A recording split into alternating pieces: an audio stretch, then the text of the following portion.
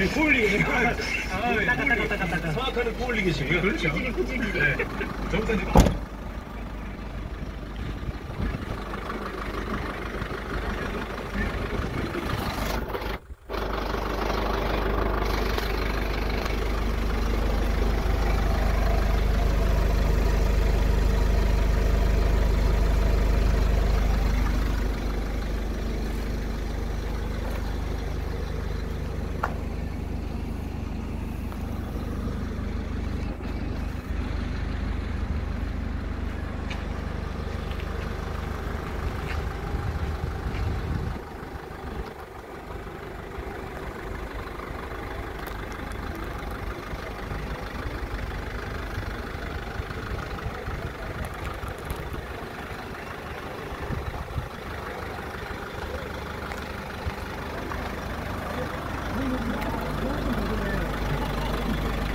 님. 리허설을 듣고 네. 우리 손재래 작가가 애교쟁이 작가가. 안에서 듣고 저희는 밖에서 감상했잖아요. 네. 그랬더니 문이 열렸는데 얼굴이 달아오르고 머리가 헝클어져서 어, 지금 머리까지. 네, 아이가 오더니 아, 듀에트 노래는 안에서 들어야 돼. 왜?